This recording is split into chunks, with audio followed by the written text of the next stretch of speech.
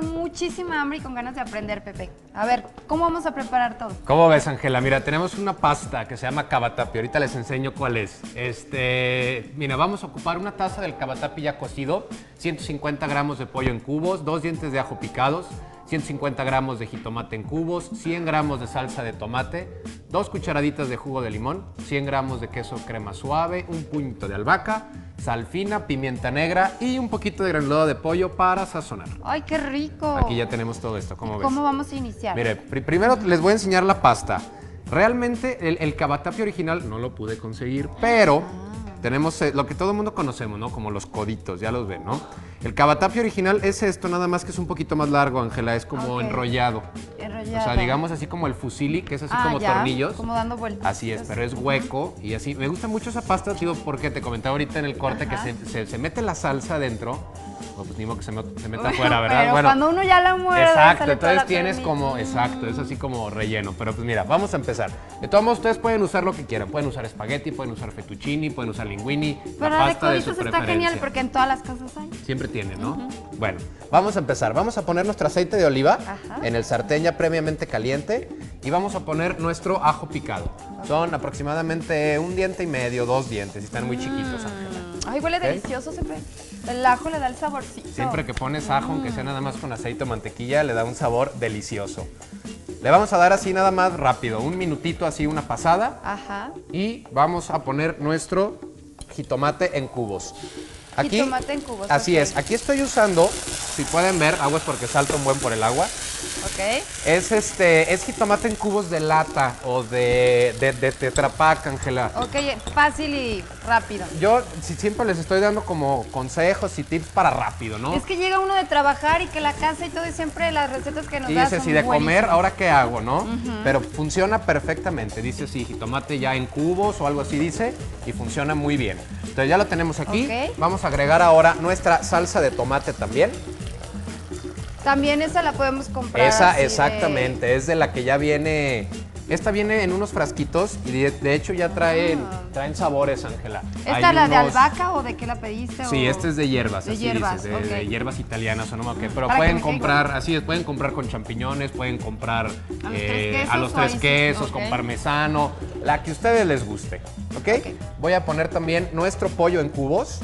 ¡Qué este ya está previamente cocido. Y ese entonces nada más lo freímos, así la pechuguita. La con pechuga la hacen cubitos, le ponen sal pimienta y la fríen. Lo pueden hacer al vapor si no lo Ah, quieren frito, como ustedes lo quieran. cortamos en pedacitos y ya. Así es, de hecho pueden usar el mismo sartén que estoy usando. Ponen primero su pollo, lo cuecen y todo, y ahí mismo empiezan a hacer su salsa, Ay, entonces ya les queda este, el sabor del pollo ahí también, ¿no? Ah, ok, ahora vamos a agregar también nuestro queso crema. Es para darle un... En vez de usar la clásica crema, le da otro toque diferente. Más gourmet, ¿no? Así es, te da un sabor un poquito más suavecito, pero está rico. Entonces, mira, vamos a hacer, vamos a mezclar nuestra salsa un ratito. Vamos a hacer nada más que se derrita nuestro queso crema y se incorpore a la crema, a la salsa, perdón, porque si no, si, si no dejan que se haga bien, Ángela, se va a ver como cortada Es que, la salsa. No, ve qué imagen, se ve No, delicioso. mira, o sea, ¿qué ya tal? así para Le puedes meter el dedo ahí adelante. A ver, vamos pruébalo, a ver. pruébalo. Mm, Y ya, o sea, ya sí se ve rico. ¿Qué, ¿Qué más le vamos a poner? Mm. Oye, pero a ver, dime todos los ingredientes porque luego con mi memoria se me olvida. Vamos a repasarlos, ¿no? En lo que queda la salsa. Necesitamos una taza del cabatapi cocido, 150 gramos de pollo en cubos, dos dientes de ajo picados, 150 gramos de jitomate en cubos, 100 gramos de salsa de tomate, como les comentaba pueden ser ya preparadas, dos cucharaditas de jugo de limón, 100 gramos de queso crema suave, un puñito de albahaca, sal fina, un poquito de granulado de pollo y la pimienta, Pimienta. negra. ¡Ay, qué rico! Entonces, mira, ya lo tenemos aquí, Ángela. Ahora, lo que vamos a hacer es, vamos a poner nuestra albahaca picada, Ok. Fresquecita. fresquecita, pueden usar, pueden usar albahaca seca también, nada más usen un poquito menos porque siempre más- las hierbas secas son más fuertes que las frescas, correcto. Y vamos a agregar nuestra pasta, ¿ok?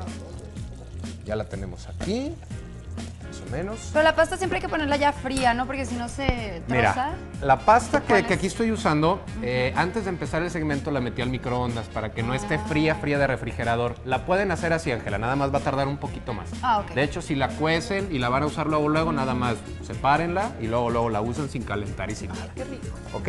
Entonces, mira, ya estamos Aquí, aquí lo que quiero que vean, Ángela, es Sí. la, la- la cantidad de salsa que estoy usando. No es una salsa como una boloñesa que queda con mucha Que salsa abajo. uno ya lo deja y todo caldudo. Correcto. Esta es una salsa, esa es la palabra, no es tan caldosa, exactamente. Es un nada más que la salsa cubra un poquito nuestra pasta y es todo. Ahora, se la pueden comer caliente y la pueden comer fría qué también. Ángela. La pueden servir, la pueden poner en un topper, meterla al refrigerador y también así como entrada fría Ajá. queda muy rico. bueno. ¿Ok? Entonces lo que voy a hacer es, ya la voy a pasar a nuestro plato, que ya lo tenemos acá.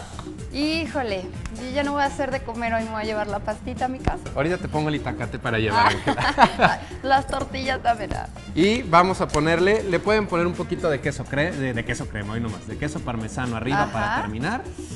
¡Qué rico! Y lo terminamos con una hojita de albahaca. Ay, está delicioso. A ver, yo, ¿me puedo, ¿me puedo comer un Por favor, por favor, quiero tu opinión. Qué rico.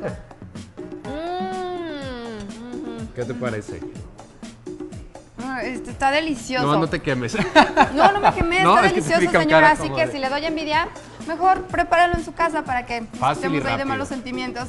Oigan, ¿qué les parece si nos vamos, mm, pues no sé, ¿Qué vamos a como a, un tip será? Vamos ¿Te latería? Claro que sí, Bueno, pues vamos a verlo, Pepe. Oye, pero que te marque luego. primero, ¿no? Ahí apareció mi información, claro. Está mi Facebook con mi, mi celular, que es el 1896196. Lo que necesiten, estoy a sus órdenes. Sí, para más recetas, Pepe, que están deliciosas. Y bueno, vamos a un tip para checar todo lo que nos tienen en día a día.